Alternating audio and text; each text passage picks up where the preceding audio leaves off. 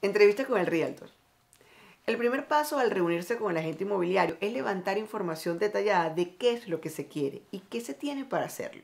Para ello conversaremos sobre cinco temas específicos. Uno de ellos es las características de la propiedad. También es importante saber las características del inmueble, el núcleo familiar, los aspectos financieros y otros puntos.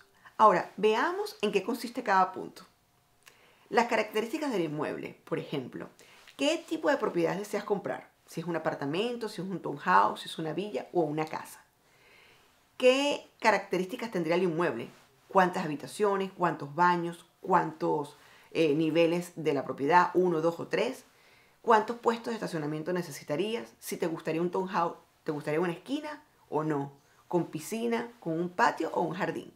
También es importante saber si te gustaría que tuviese vigilancia privada o bajo una asociación.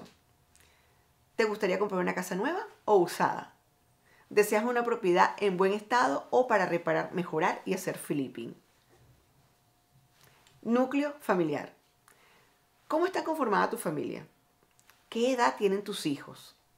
Existen personas con condiciones especiales que requieran características especiales, como por ejemplo habitación en el primer piso o un inmueble en una sola planta, evitando las escaleras.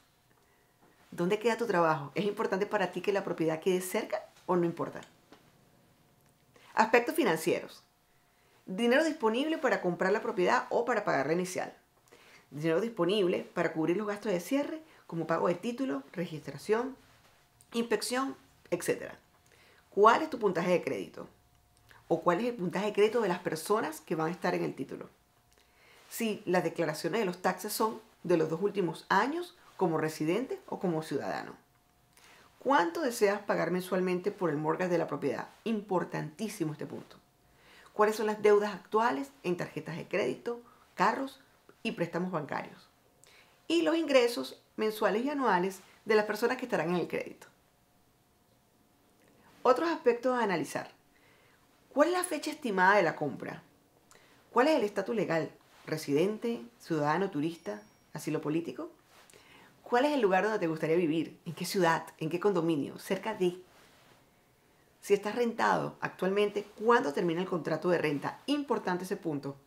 La fecha ideal de mudanza es un punto a analizar desde un punto de vista financiero, porque si estás rentado, debes evaluar cuándo se termina el contrato de renta. Tomar en cuenta que el salir antes te puede generar costos adicionales.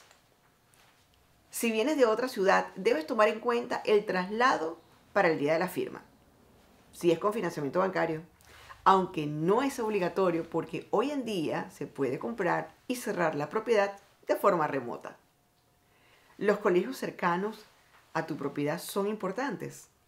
Es un punto importantísimo para decirle al realtor. Luego de levantar esa información, hacemos una llamada telefónica al lender broker y en base a esa información, ella nos adelanta de manera informal cuál es nuestra capacidad de compra, monto inicial necesario para la compra, cuotas a pagar y tiempos.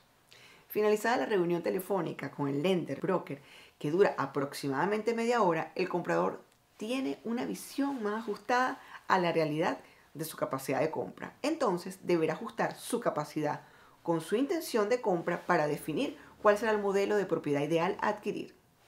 Es importante aclarar que esta reunión no tiene ningún costo para el comprador es solo una reunión exploratoria que sirve para levantar información y establecer el plan de compra.